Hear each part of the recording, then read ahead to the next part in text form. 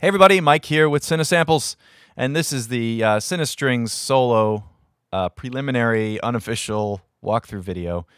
Uh, we've had uh, a lot of work put into this library, and we've spent more time on this library than any other library, and we kind of wanted to show you where we're up to, what we're doing, and um, and you know we haven't really released any info. We've released some audio examples uh, but uh, but there's nothing like seeing a guy fumble through the patches. Uh, so here we go. This is the um, so this is violin one, right?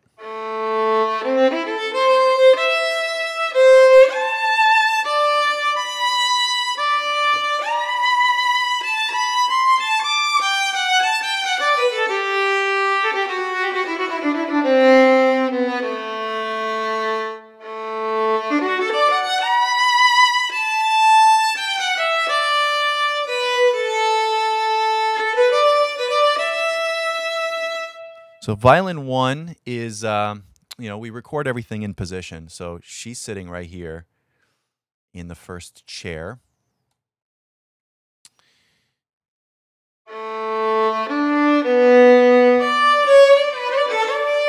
Now, you know, when you're playing lightly, it's standard sort of legato. If you add a little bit of velocity to it, you get the.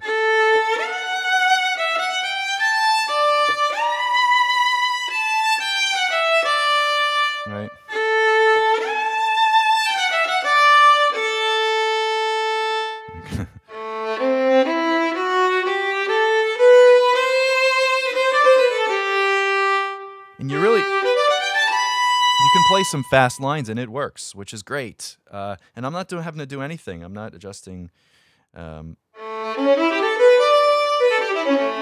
any any of the CC values. And you'll notice that the higher, um, sort of the more expressive legato has a lot more vibrato.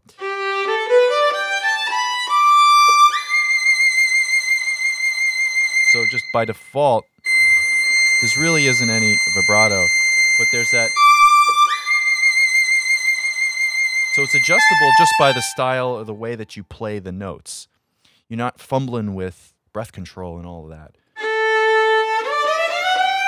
That's if you play hard, which don't do that. I would recommend that when you play the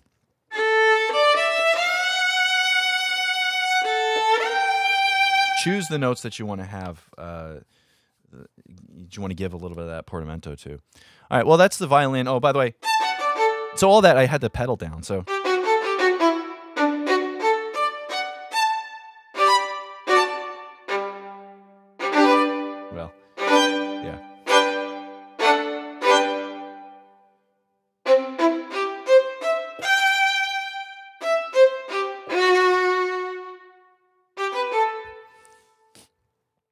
And the mapping control is greatly improved. This is all brand new. Uh, pretty much started from scratch and built something new. Uh, I won't go into too much detail, but you basically have two conditions now that you can uh, uh, apply values to, which allows you to do nearly any kind of mapping style that you want.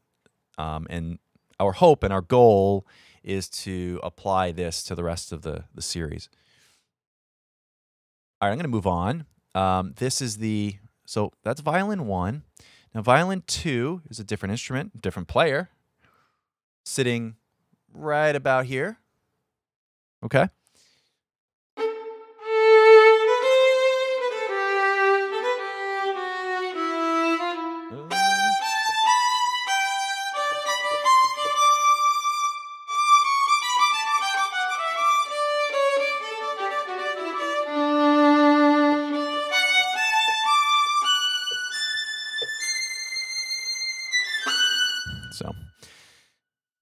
We have uh, sort of this attack overlay feature is all on here.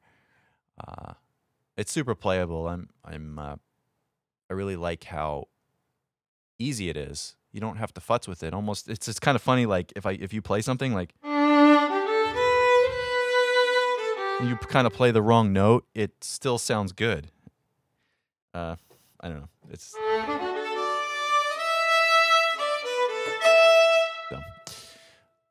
That's the uh, violin two. And viola, viola is really uh, fantastic. Obviously, viola is sitting uh, directly in front of the conductor's stand, so somewhere about this location.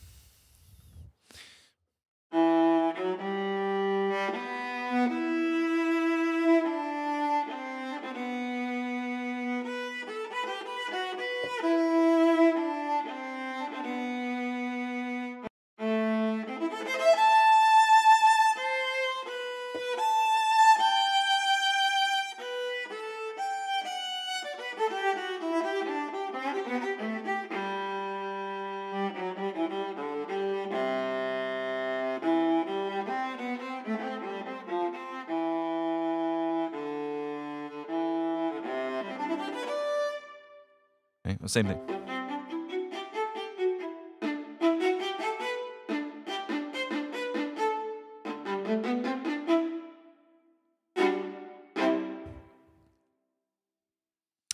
Here's uh, cello.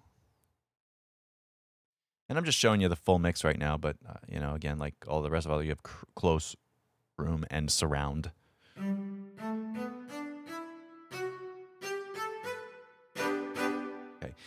So cello.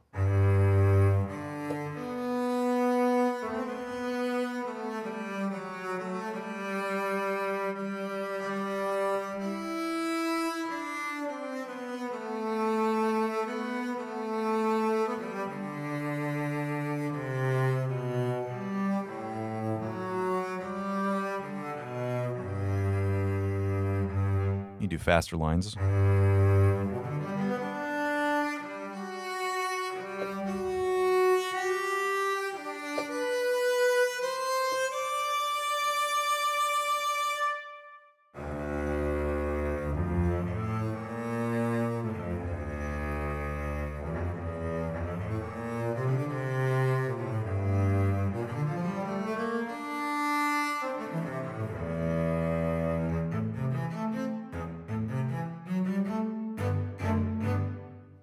Lovely sound. All right, and uh, the contrabass. We got legato, contrabass, solo contrabass. See if you can hear it.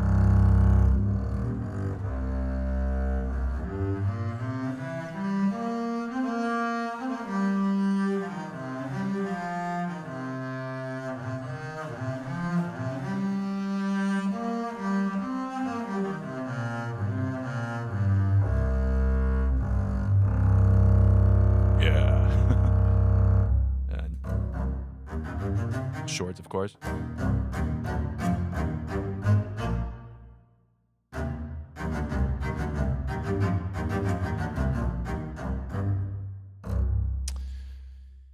And then uh, the other thing that we- you know we have these sort of uh, um, chamber ensemble patches. Just the full group.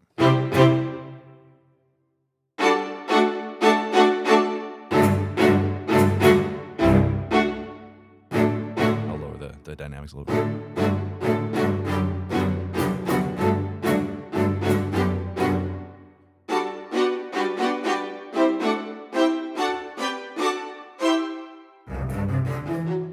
So it's this it's violin, violin two, viola, cello, bass, all separated out. And the ensemble patch is also going to have the uh, uh, the instrument range control here for you. Uh, then, then also this is included. This isn't in the other libraries in in Sinus, Cinestrings Core, but you'll have control over the overlap range. That's something that that you guys have wanted. So we've applied it to this, and then, as I said before, we'll we'll take a lot of this uh, this improvement and, and put it into uh, the core library. Um, the chord arranger. This is kind of cool. You know, you can have. Uh, well, I, I don't know if I want to go into this, but you can have a light. So that means like if I'm playing four note chord like I am here, you've got violin one, violin two, viola, cello, right? It's gonna spread it out for you automatically. Yeah. All right. Uh, that's that's that. We got several articulations, not just shorts and longs. There's, there's pizzicato and and tremolo and Bartok pizz. Um, here's uh, the chamber ensemble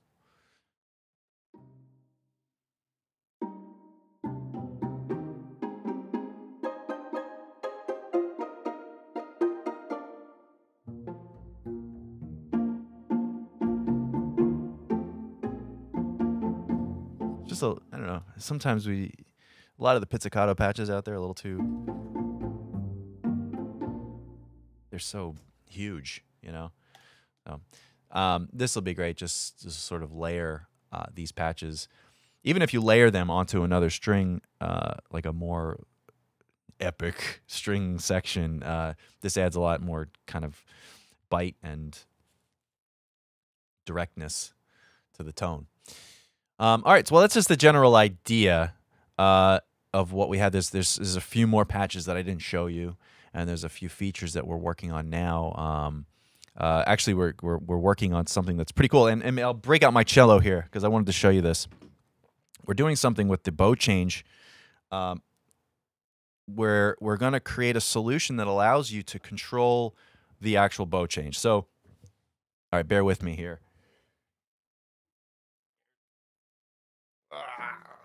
Oh boy. Got my cello here. You should be grateful that I was not the cellist on this library, but I just wanted to sort of demonstrate uh, a feature that we're working on. Um, a lot of people, or at least I do, I like to have control over where the bow change occurs. Uh, in reality, you can't have a bow change. I mean, you can't have an infinite bow, right? You can't just go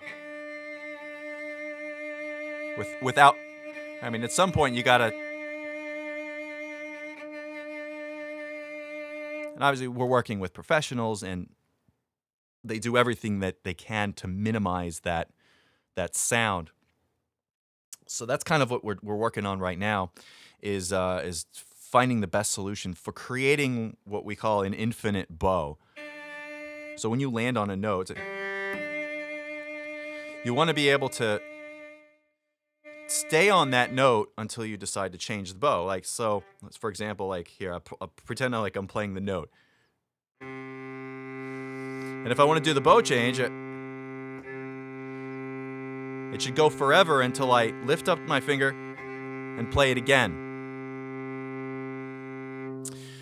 Uh, and that's just something that, I mean, by default, it's not going to do that. But we're working on uh, on something to, to help with that.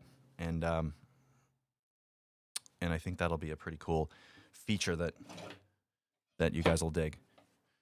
Anyway, that's my poor cello playing. So. Um, that's pretty much it. I hope this was helpful and interesting, and uh, uh, you know we are very excited about this. So anyway, thanks for watching, and um, stay tuned for uh, the release, and we'll see you soon. Thanks. Bye.